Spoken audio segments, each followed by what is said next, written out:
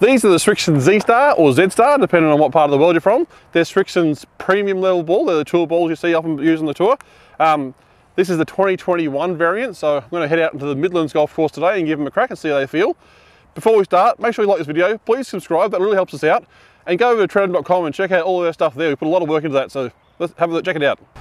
So we're going to do this review a little bit differently. We've got the 2021 model. We've also got last year's, or 2019 model. We're going to hit both balls and see how they go.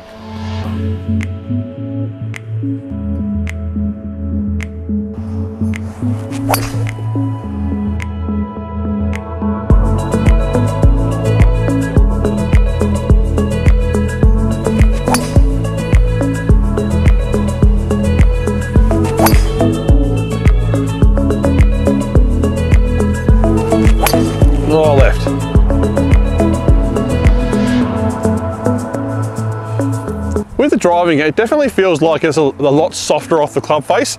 It feels like it's getting a little more spin so it lifts up a little bit higher, but it's not losing any distance. So it's a, it's a big improvement on last year's ball, which felt a little bit clunky off the club face.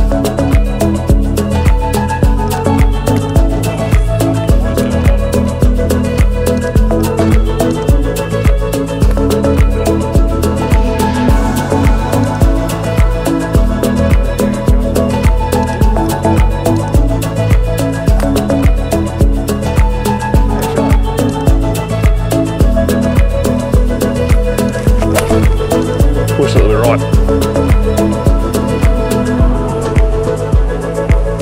I reckon the long irons is where you feel the improvement in this ball the most.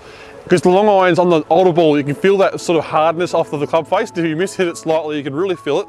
But with the with the newer ball, it seems more forgiving and it feels nicer off the club face. So, like I've said with the driving, it just feels a lot nicer to hit than the old one.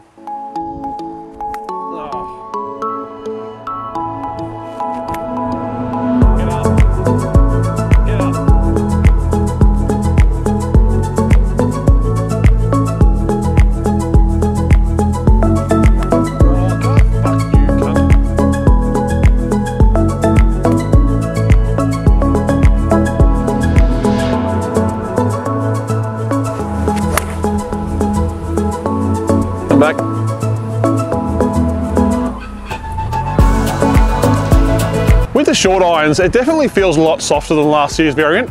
It seems to pop a little more and just feels nicer off the club face. It's, a, it's got a really good feel to it.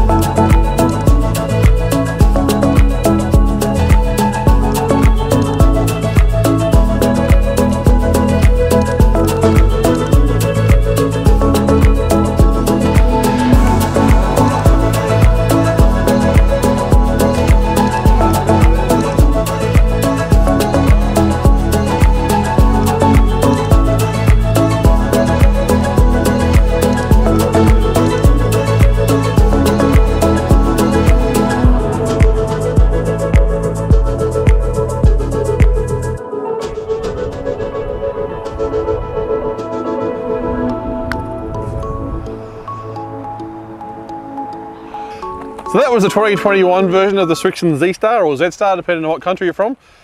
This is probably the most improved ball that I've played out of all the balls that I reviewed twice now. So there's quite a few balls we played last year's or the 2019 model. This is the 2021 model and it is so much more improved over the previous one.